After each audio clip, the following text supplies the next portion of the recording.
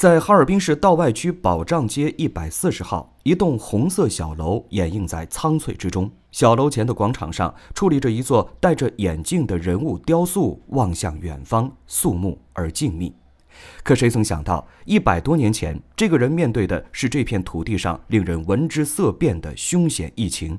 也正是他力挽狂澜，仅用不到四个月的时间，就彻底控制了那场百年不遇的烈性传染疾病的流行，拯救了千万人的生命。他就是被誉为中国防疫事业先驱的伍连德博士。这栋建筑是2008年落成的伍连德纪念馆。走进这里，仿佛触摸到了伍连德博士传奇的一生。1879年，伍连德出生于马来西亚槟榔屿。十七岁，留英考试位列榜首，而获奖学金赴英国剑桥大学攻读医学。他是剑桥大学的第一位华人博士。画面中的这件儿就是他曾经加身的博士服。一九一零年底，一场骇人的肺鼠疫在中国东北陡然爆发，瘟疫感染者发烧、头痛、胸闷、干咳，最终窒息死亡。一九一零年十二月二十四日平安夜，年仅三十一岁的伍连德带着自己的助手及简单的医学仪器，迎着汹涌的逃难人潮向东北出发，抵达哈尔滨，临危受命，出任东三省防疫全权总医官。在力排众议实施了一系列防控措施后，全城死亡人数急速下降，感染者也越来越少。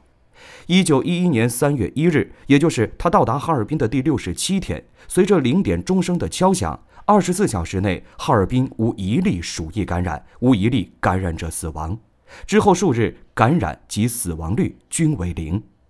在纪念馆的一个橱窗内，记者见到了当时那场疫情中人们所佩戴的由伍连德博士设计的口罩。之前在世界上，一个是在世界上没有这种比较规范的这种防护措施，就是说，因为它确定了这个传染途径以后，必须对健康的人有一个防防控的措施。但是这个防控措施呢，是用什么来实现它呢？所以他是自己就是发明了这个口罩，就是最初的口罩原型呢是三条带子的，但是最后呢，为了更呃。便捷一些，那么所以呢，后来演变成这种这种两两层袋子了，完直至演变成我们现在今天的这种口罩。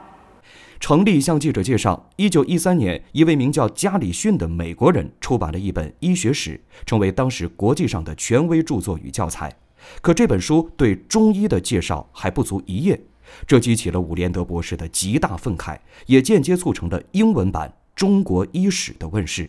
当时他看到呃有关于中医文化的呃呃那个只有不足一页，而且里面有很多错误，因此呢，他就呃给呃。这个呃作者呃去函，那么质质询他，就是说我们中医文化博大精深，为什么呃有很多有价值的东西？为什么你只写了短短的一页，而且里面呢有很多的错误？那么呃这个作者呢接到伍连德的信函之后呢，也是呃迅速给他回信说，我在世界上没有看到任何关于你们中医文化的介绍。那么如果你觉得你们中医文化博大精深，有很多有价值的东西，你自己为什么不宣传呢？那么这件事呢对伍连德博士触动很大，因此呢，他就是联合王基民呃博士，历时十六年完成了中国第一部啊英文版的《中国医史》，来向世界介绍中医文化的一部经典著作。那么后人称之为《王武医史》。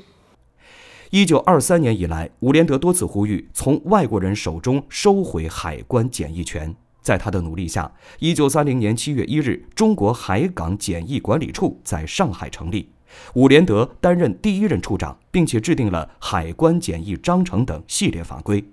如今，海关检疫部门在抗击新冠肺炎疫情、外防输入中，依旧发挥着至关重要的作用。一共有三种颜色的灯，那么蓝色的呢，就是伍连德防疫时期在东北地区建立的防疫医院和防疫站；那么红色的呢，就是和呃伍连德博士主持新建的大型的综合医疗机构；绿色的呢，就是伍连德博士主持回收以及新建的海港检疫医院和检疫站。那么从这个地图上可以清晰的看到，伍连德在中国工作近三十年嗯的时间所走过的地方，那么足迹遍布了中国呃大半个中国。